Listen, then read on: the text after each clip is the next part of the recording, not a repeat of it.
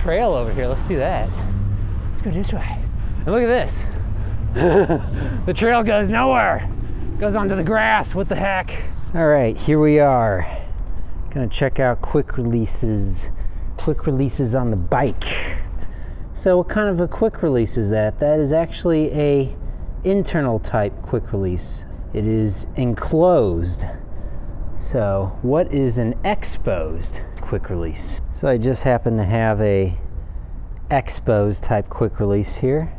See that exposed cam action there? It's a lot weaker than this guy down here. This is a nice high quality Shimano Ultegra internal quick release.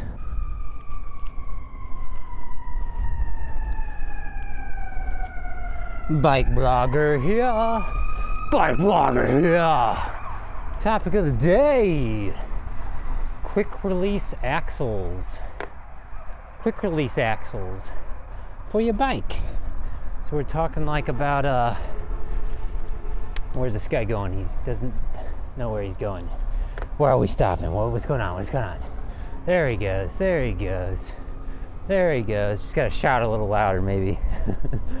uh, quick release axles. So they hold your bike wheel on your bike. So that's like what? The most important thing in the world, right? You don't want your wheel coming out from your bike frame. That'd be pretty dangerous. Pretty dangerous. Haven't ever really happened to me before, although there was a video a while back where my wheel did get loose when I was climbing up a hill with my single speed bike. And uh, I don't I don't really want to wait for traffic here, so we're gonna go this way. See if we can get around this intersection somehow. Um, but uh, there's two types of uh, well, actually three types of axles on a bike. Uh, there's the screw or the bolt-on, which are the uh, what are considered the uh, uh, you know fixed gear track bike sort of setup. Here we go. It's a long about way to get through this intersection. Um, and then you got the quick release, which we'll talk about today. And then there's through axle. Through axle is the newest, but not that new anymore. It's been around for multiple years now. Kind of came about with disc brake bikes or with the disc brake bike industry uh, kind of taken off. Um, the disc brake bike industry really took off maybe like five years ago or so. I had a disc brake bike with quick release axles, but um, now they uh, come with through axle. Most of them do at least. When is this traffic gonna end? When is the traffic gonna end? All right, I'm gonna spin it around here. Shoo! Actually, we can get up on the grass here. How about that? Doobity-doo. Doobity-doo. Eh, I guess we'll go through the park a little bit. I go through the park a lot, but I've been trying to avoid it because keeping my distance and I don't have a mask on, so let's go down this way. Big drop, big drop for a road bike. Okay, there we go. Um, so quick release axles, they are a clamping type of mechanism. That is, the quick release axle squeezes onto the dropouts on the bicycle frame, and that holds your wheel onto the frame. It doesn't sound very effective, does it? And in fact, it isn't very effective, um, and I would not recommend quick release for something like a track bike or a fixed gear bike. Um, you know, those typically, you know, are bolt on anyway, but you could do a conversion. I do a lot of single speed conversions and use a quick release. But often, you know, that I have, you know, vertical dropouts or something, something a little safer. They got those lawyer lips on the front forks of most forks, I think, still manufactured today.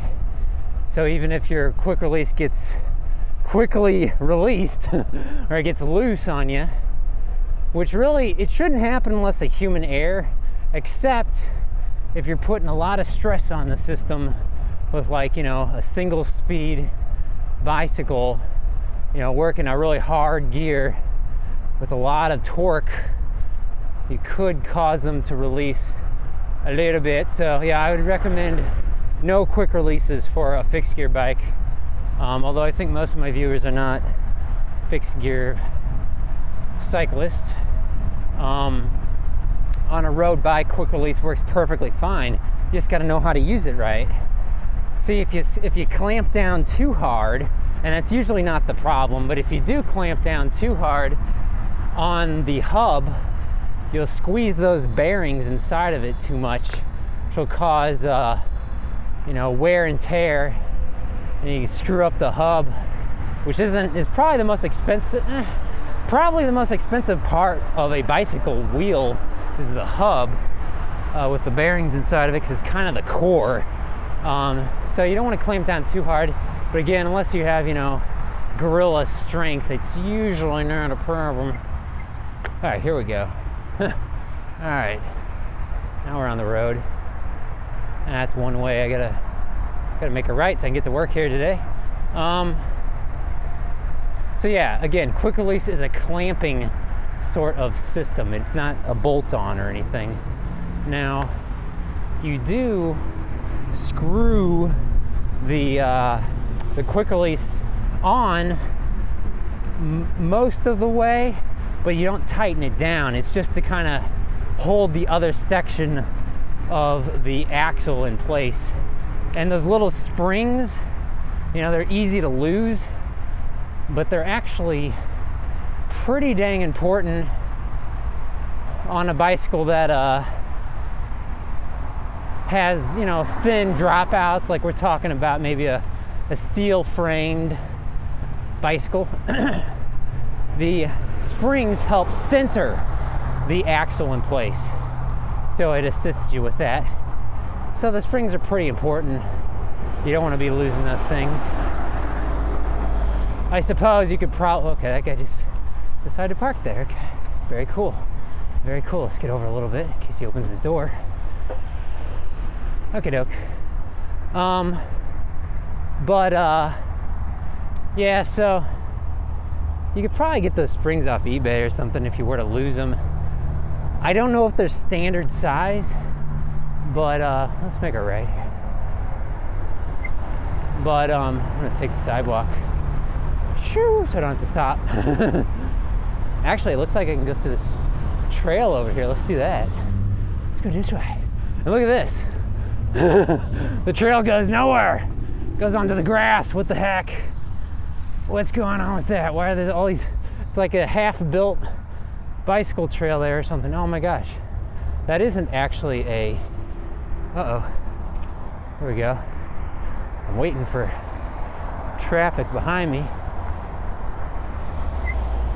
There's a cyclist straight ahead there. I'm gonna drop down. Okay, we got a green light, so we're gonna go here. Um, but what was I saying? Uh, um, yeah, so three types. You got the, the bolt-on, the old-fashioned type. Uh, bolt-on like with some internal gear hub systems. I mean, we're talking like, I guess going on a hundred years ago the original design, which is a bolt on or screw on. Then you got the quick release, which is a clamp on. And now you got the through bolt, which is another screw on type of uh, axle system. Uh, they weigh a bit heavier, I think. Again, their main purpose, I think, let's make a right here. Their main purpose is to help center the uh, disc rotors for disc brakes or help prevent them from going off center or something, I guess. Let's go straight here actually, see where this goes. I don't know really where I'm going. This is kind of a semi new area of a city. All the buildings look like they have that newer architectural flair, kind of a mishmash of different designs. Not very architecturally pleasing in my opinion, but whatever. It's what's hip right now. Um, through bolt, through, uh, did I say through axle? Is it through axle through bolt? I think it's through axle. I think I'm correct in that. Let's go straight here. Let's see. What's to the right? Looks like that just goes down into a parking garage. Dang, that's pretty heavily fortified. They got like fencing all around that parking garage. Ooh, speed hump. Was that a speed hump? It didn't even feel like a speed hump. it didn't even feel like a speed hump at all. Let's go straight. I think I just made a loop. There's actually no way out. At least not the way I went there. I'm actually circling back to the same road I was on. Oh well. That's the freeway straight ahead, uh, I-64. All right, there's a big blind spot to my left. So you can see all these parked cars there. Okay, let's go this way. I know I can cut through the college campus here, so let's do that. Make a right here. So I need, I need to head south. Um, so there are three things you need to consider when you're getting a new axle. If you need to buy a new axle for some reason, that was a speed bump. Uh, diameter, length, and uh, threading. Don't quote me on this, but I think threading is pretty standardized nowadays, so you probably don't need to worry about threading so much. Um, but length and diameter are important you get too skinny of a diameter, it's going to be loose. It can get loose, or uh, you can get your um, your wheel would be kind of maybe uh, not centered properly. Uh, too big of a diameter, and you're not even going to fit it in the dropouts. And that kind of goes with length. If the length is too short, well, obviously it's just not going to work. If it's too long, again, you could get loose or um, uh, be a loose fit or um, not centered properly or just more of a hassle. So you want to get the correct length for your dropouts. Typically, the length is 163, I think, millimeters for a road bike, a rear wheel, um, for uh, like an aluminum frame or carbon frame bicycle. Uh, you need to look it up. Just you can measure your own qu- uh, quick release. That'd be the easiest way to do it. It's kind of like spokes. Um, just you know measure the full length of the quick release uh, mechanism. Um, I think 168 millimeters is for steel frame bicycles uh, with uh, the steel dropouts rear wheel. For the front, I think it's 100 or 110 or something. It does depend on your hub too. So, well, your hub would also, I guess, be fit to fit your frame or your fork or whatever. So, yeah, you need to do your own measurements really but there are some more common uh, sizes, of course, like with anything. Um, what else? So, there are two types of quick release axles. Here we go. Oh man, there's a train straight ahead. Look at that. Look at that train. There's a train straight ahead. and um, I guess I'm going to have to turn around unless I want to wait for the train. I don't really want to wait for the train. Oh my gosh, this road is like the worst road in the city, at least in central corridor. What is this, uh, Macklind? North of Manchester Avenue. City's got to get on it, especially since they claim this is a bicycle route. Okay, so if I make a right like that SUV up ahead, I can go against the direction of the train, and then maybe at the next intersection, I can cross the train track because I'm, you know, be double the speed, you know, so to speak. I get doubly past the train faster here. Although it looks like the end of the train is actually straight ahead. So it's just about the end of the train there. Oh, I need to get over his car behind me. There we go. Yeah, so doing things differently in this video. Woo, it's loud. Um, we got no rear camera, so sorry about that. I do have the you know, the face cam, but I'm gonna tone down the use of it. I'm really going back to my roots, kind of minimalist, because I was just watching some of my videos on my phone. Phone is different than desktop, but even so, it's all, I think, uh, uh, blown up relative to the size of whatever screen you're watching the video on. Let's make a left here. I need to get all the way over. Um, but uh, there's too much clutter at least in my opinion, on the screen. So, because I had the speed, the map, and my face. on the uh, screen. Okay, there's. I'm watching a silver car straight ahead. So pass after the sedan up ahead, but I need to wait. Or no, it's not a sedan, it's an SUV. There's all these little mini SUVs nowadays. It's kind of funny. All right, here we go. Uh, we cross the train tracks. Ugh. I still hear the train, I guess, rumbling on the rails there. The reverberations and the mel sure travel long distance. Um, okay, so we're heading south. Uh, straight ahead is I 44 freeway. We need to cross that to get to work. We already crossed another freeway, so uh, I 6 or no, we didn't. Uh, I think we no, we didn't actually cross. Did we cross I 64? I don't know. The other freeway back there, I might have. But uh, this one is clearly we're going underneath it on our way to work today. But yeah, what I was saying quick releases, there's two types there's exposed cam and uh, enclosed cam type, uh, also known as I think external and internal cam type of quick release. Whew. That truck is letting out some fumes. That truck's letting out some fumes. Let's keep following a little bit longer at least. Uh, pickup truck straight ahead. You can smell his exhaust from back here. Um, not good for you, by the way, breathing in exhaust fumes. Which is why I I do queue up behind cars at stoplights and stuff, but uh, it's kind of one reason or one argument for not queuing up behind traffic besides being you know hidden behind cars but to actually get to the front of the queue is um, because uh, whew, because the um, the fumes you know see I'm not even thinking straight the fumes got into my head let's try going this way to the right says no trucks. It doesn't say no bikes. And I think it might cut through here. Where's car? So that flag straight over there we just passed. I think that's the Missouri state flag. No, no, no. I think that's I think that's the city of St. Louis flag. The Missouri state flag has a bear on it, because I think there are bears in the state of Missouri. But then again, you know, I'm a city boy, so or you know suburban guy so i uh, don't know really what all sort of large creatures are in the rural parts of missouri Whew. Whew. up the hill up the hill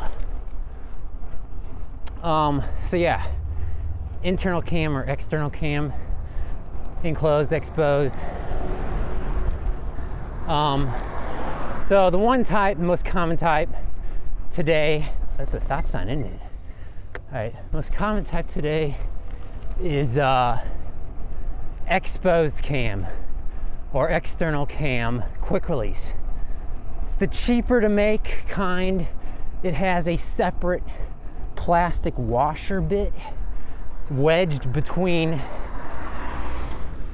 the uh, the cam mechanism and I guess your axle or the spring, uh, I mean the dropout, the spring.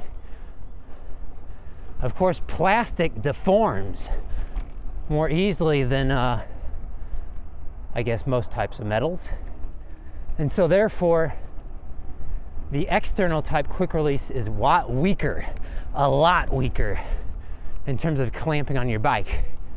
Now, that can work fine, again, like I was saying, for vertical dropouts, you know, road bike. Um, but I wouldn't really recommend for a uh, track bike or uh, even a single speed bike. I'm riding a single speed conversion with quick releases on the back end and the front, but especially I'm talking about uh, the back and uh, whew, up the hill. And um, it's a internal cam type. Also common brand is Shimano type of quick release. They still manufacture those quick releases, but I think they're uh, they may be on their way out because I think a lot of bikes are going to disc brakes. So that brings me back to the uh, through axle type. Whew. Up the hill. Okay, so I made it through there. Let's make a right. Nobody around. I'm way out in the road here.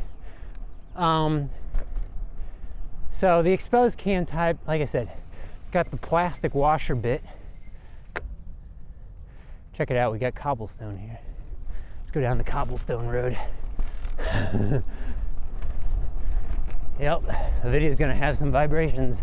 Although I must say, this road actually feels smoother than some of these other roads that aren't cobblestone, which is pretty pretty telling. Pretty sad state of some of these roads around these residential roads. Um, this this cobblestone is actually not in horrible condition. It, I suppose there's different types of cobblestone too. This is a very smooth type of cobblestone from one brick to the next, or uh, I don't know if you call them bricks, but from one stone to the next. Although, where does the word cobblestone even come from? Uh, makes me think of something other than red brick. Something like maybe a brownish color. Let's just go in here just because. What is this? Apartment homes for seniors. Where am I going? Where am I going? I'm not a senior. Senior resident parking, right? Yeah. Let's get out of here. I go back down the sidewalk here. Oh, this is just wonderful. Coming at it from an angle like this. Let's get out of here. Shoo!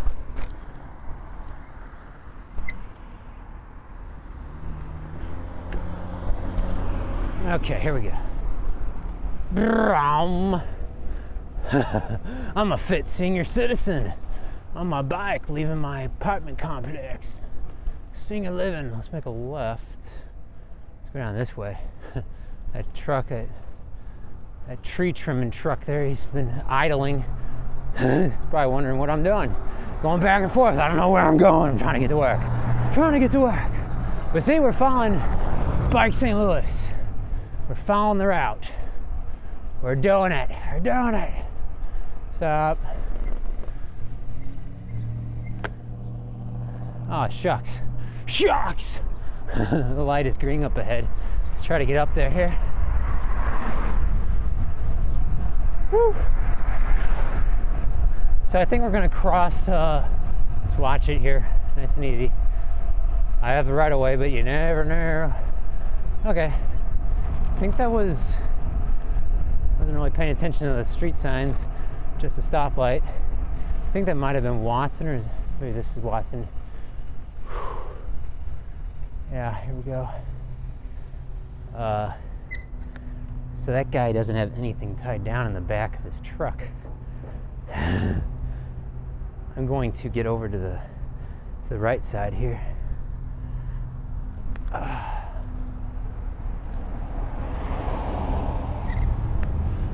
see, because I'm just paying attention to all that, all those benches or church pews or whatever it is he's got cut up in the back of his truck bed there.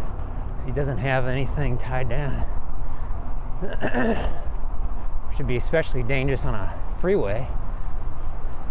Or maybe he had them weighted down. I didn't really notice, but it didn't see anything like a rope or anything holding the uh, stuff in the back Let's keep following him a little bit here. I gotta speed up a little.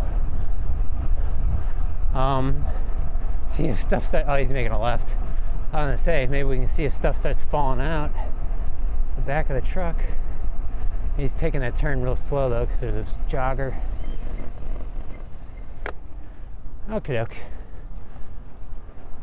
And we're gonna keep going straight. We're on southwest right now, heading toward uh, Columbia, I think. which then turns back into Southwest, which is kind of strange. make a left here. I think straight ahead is, um, oh, different neighborhood. The name is escaping me. Clifton Heights, that's the name of the neighborhood. Okay, straight ahead, yeah. Clifton Heights has a nice little pond uh, in part of the neighborhood, in the fancier part of the neighborhood. Okay, okay. Oh no, wait, actually that's straight ahead. Straight ahead. Oh, my nose is acting up just a little. It's a little chilly. I got fingerless gloves, as you can tell. A little cold though. I guess we're kind of making a left. Signal to the left there. Um, shoo.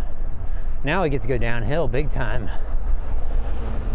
Only reason we can't just keep rolling downhill is there is a stop sign straight ahead, unfortunately. And then there's another stop sign where we cross I 44 again. We're going to go underneath again. And I'm trying to think why that is. we already crossed it once. Why do we have to cross it again? Uh, I think because I think because it weaves weaves around, so we're going to actually cross back under I-44 again here. Uh, yeah, quick releases. If you got any more tips, leave them in the comments section below. And all the other cyclists and myself can take a look and if you have any questions, we'll try to answer them. And uh, does your bicycle have quick releases? I mean, I'm kind of curious, uh, especially if you bought a bike within the last uh, few years. So I'm wondering if they even really make them with quick releases that much anymore. It's kind of like with, um, kind of like with uh, road caliper rim, I should say rim brakes on uh, on road bikes because uh, those have been going. Oh, it's a big bump. I saw that. I'm trying to keep a straight line here though because uh, there's actually nobody behind me, so I could have been in the real lane here. Um, because I know more and more switching to that through axle type. And in my opinion, without using through axle, the the idea of it that you screw them onto the bike, I actually like that more than the clamping idea because it just seems to be a lot more uh, a lot better of an idea, honestly. I think I might have been able to make a turn there, but actually I think I can get I think there's a is this an alleyway? Yeah, there's an, actually an alleyway here. I'm gonna go down the alleyway. And then it's one way straight ahead. I'm gonna make, so I can make a left. And that's cool. We'll, go, we'll do that.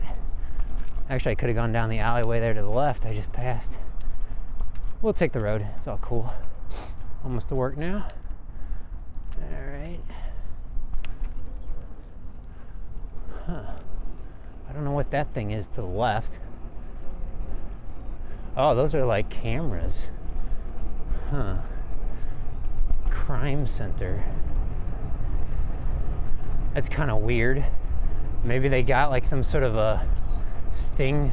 Well, that wouldn't be a sting operation if you obviously have police cameras sitting right out front of a house, but they have problems with crime along the street or something.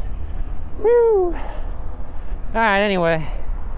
So, I want to make a left it's a bit, a bit, a bit, bit of traffic though. So we'll go straight this way. And then maybe we can do a U-E.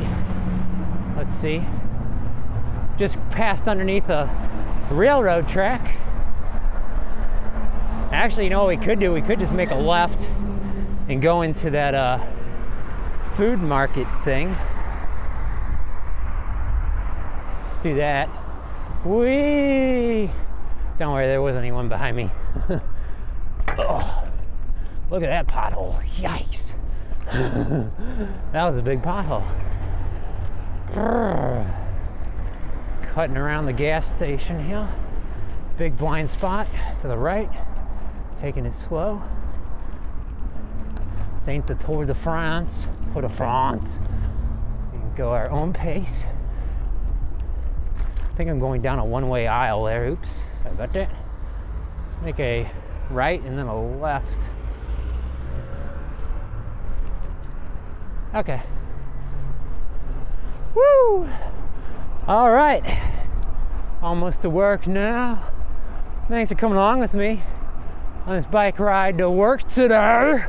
We'll see you in the next video. Bye-bye. Bye bye. Whew.